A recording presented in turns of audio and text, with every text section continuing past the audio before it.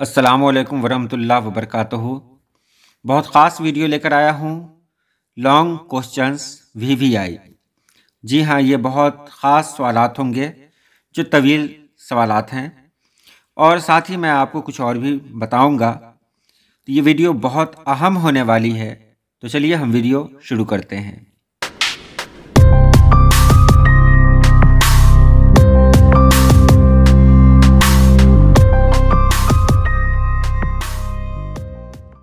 सबसे पहले मैं आपको ये बताना चाहता हूँ कि अगर आप क्लास ट्वेल्थ में हैं या टेंथ में हैं, अगर आपको उर्दू या अंग्रेज़ी की तैयारी करनी है तो आप टेलीग्राम डाउनलोड कर लें। टेलीग्राम में आप सर्च करेंगे निगाह Urdu class twelfth, Bihar board तो आप वहाँ से सीधे आप पेज पर आ सकते हैं। आप यहाँ देख रहे हैं किस तरह हर रात सात बजे टेस्ट लिया जाता है। अगर आप यहाँ शामिल रहे तो आपकी उर्दू बहुत बेहतरीन हो जाएगी। यहाँ पीडीएफ भी मिल जाती है बहुत आसानी से तो आप यहाँ ज़रूर आए ताकि आपकी उर्दू बेहतर से बेहतर हो सके। अभी अल्हम्दुलिल्लाह 500 बच्चे हैं जो इस ग्रुप से जुड़े हुए हैं और वो बहुत बेहतरीन तरीके से टेस्ट दे रहे हैं। आप भी शामिल हो जाएँ। ये उर्दू का ग्रुप है, इसके अलावा अंग्रेज़ी का भी ग्रुप है, वहाँ भी हर दिन टेस्ट लिया जाता है तो आप ज़रूर वहाँ शामिल हों। और अब सवाल की तरफ़। वज़ीर आगा ने इंशाइया के लिए किन बातों को ज़रूरी करार दिया है?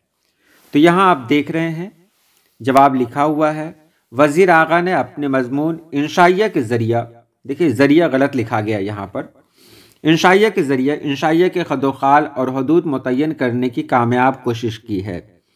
और इंशाइया की जाम तारीफ़ करने से कबल उन्होंने इन दुशारियों का भी ज़िक्र किया है जो इंशाइया की तारीफ़ की राह में हायल हैं।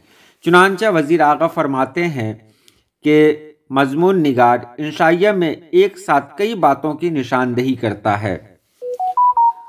वज़ीर आगा ने अदब की दीगर नसरी असनाफ और फ़नी पैराओं से इंशाइया के इम्तियाज़ात के बहस में इस सिनफ के गैर रस्मी तरीक़ार शगफ्ता मूड को बतौर एक इजाफी खूबी बताया है।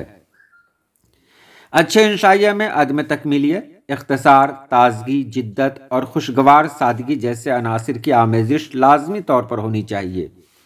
वज़ीर आगा ने अपने मजमून इंशाइया क्या है में इन अनासर की बहस से ये नतीजा अखज़ करते हैं कि मजकूरा अनासर की शमूलियत के बाद ही इंशाइया के कारीन को महसूस होता है कि उसने चंद लम्हों में ताजुब और मसरत की बहुत सी मंजिलें तय कर ली हैं। खाना बदोश, ज़िंदगी का कुम्हार है, कैसे? तो जवाब खाना बदोश ज़िंदगी का कुम्हार इस तरह है कि उसका घर और ज़िंदगी का धंधा तो एक मासूम बच्चे के रेत के घर के मानिंद है। जिस तरह एक कुम्हार रोज़ाना अपने चाक से दो तरह के बर्तन बनाता और तोड़ता रहता है, इधर किसी बर्तन की शक्ल ज़रा बिगड़ी, फ़ौरन उसे तोड़ डाला और नया बर्तन बना लिया। ठीक इसी तरह खाना बदोश भी है कि उसके चाक से रोज़ तरह तरह के घरौदे बनते रहते हैं। इधर ज़रा सी ज़िंदगी के खिलौने की शक्ल बिगड़ी और उसने इसी मिट्टी के ढांचे में मिलाकर फिर नई मिट्टी सान लेता है। इस तरह खाना बदोश की मिसाल एक कुम्हार की तरह है। सवाल है अगला, सफ़र पर रवाना होने से पहले मुबारक ने बाज़ार से कौन सी चीज़ें खरीदी? तो जवाब है, सफ़र पर रवाना होने से पहले मुबारक ने बाज़ार से इत्र, नजोर और जो कुछ मलिक सादिक के यहाँ ले जाने की खातिर मुनासिब समझा खरीद लिया। सवाल है अगला, सुलेमानी सुरमे की क्या खूबी थी? जवाब है, सुलेमानी सुरमे की खूबी थी कि जब कोई आदमी उस सुरमे को अपनी आँखों में एक दो सलाई लगाता था कि उसको जिन्नातों की दुनिया नज़र आने लगती थी, जिसमें जिन्नातों और उनके सारे लवाजमात सामने होते थे। यहाँ तक कि जिन्नात मुतहरिक और सरगर्म नज़र आते थे। सुरमा लगाने वाला उन जिन्नातों से गुफ्तगु भी कर सकता था। सवाल है, पागलों के बाहमी तबादले के लिए कौन सा फार्मूला अपनाया गया? तो जवाब है, पागलों के बाहमी तबादले के लिए ये फार्मूला अपनाया गया कि बाकी कैदियों की तरह पागलों का तबादला भी होना चाहिए। यानी जो मुसलमान पागल हिंदुस्तान के पागल खानों में हैं, उन्हें पाकिस्तान भेज भेज दिया जाए। और जो हिंदू और सिख पाकिस्तान के पागल खानों में हैं, उन्हें हिंदुस्तान के हवाले कर दिया जाए। अगला सवाल है अम्मू के चारों बेटों के नाम और उनके काम बताएँ। जवाब है, अम्मू के चारों बेटों के नाम हैं खुर्शीद, रशीद, जमशेद और हमीद। उनमें खुर्शीद शिकागो में डॉक्टर थे, रशीद भी अमेरिका में इंजीनियर थे और जमशेद भी न्यूयॉर्क में इंजीनियर थे। सबसे छोटा हमीद घर पर रहता था, वो अपने माँ बाप के साथ रहता था, पढ़ाई में उसका दिल नहीं लगता था, इसलिए सियासत का रुख किया और मरकजी हुकूमत में वज़ीर बन गया। अगला सवाल यहाँ आप देख रहे हैं। डायरेक्टर जनरल सैयद अज़ीज़ अहमद लोगों के जहनों से क्यों फरामोश हो गए?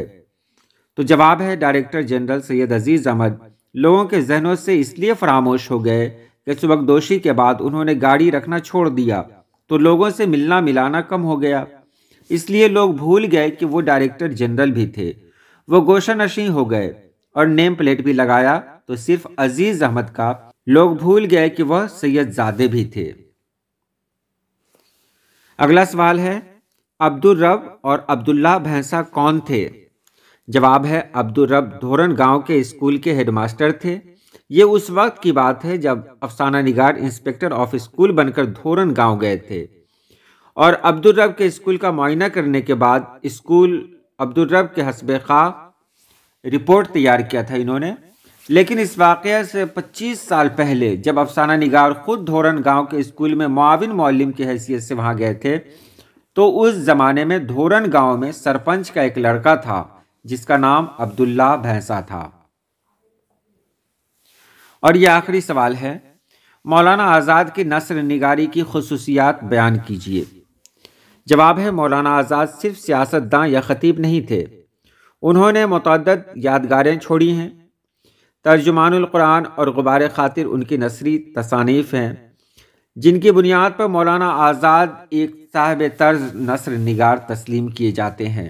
उनके खतूत और मजामी के मतद मजमू भी शाये हो चुके हैं, जो उनकी नसर निगारी के बेहतरीन नमूने हैं। उनके खतूत की ज़बान पर अगर गौर कीजिए तो उनके नसर की दिलकशी और दिल आवेज़ी अपनी तरफ़ मतवजह किए बगैर नहीं रहती। अल्फाज सादा हैं? जिसमें अरबी अल्फाज तराकीब से गुरेज की कोशिश की गई है।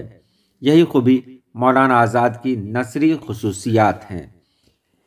तो ये सवालत रहे, ये सिर्फ़ ख़ास सवालत रहे जो इम्तहान में आ सकते हैं। इसलिए मैंने यहाँ उन्हीं सवालों को पेश किया। आप इसे अच्छी तरीके से याद कर लें ताकि इम्तहान में लिखने में सहूलत हो। इन फिर आऊँगा मैं। बहुत बेहतरीन वीडियो के साथ। इजाज़त दीजिए। अल्लाह पाक आप सभी लोगों को खुश रखे आबाद रखे। अल्लाह हाफिज़।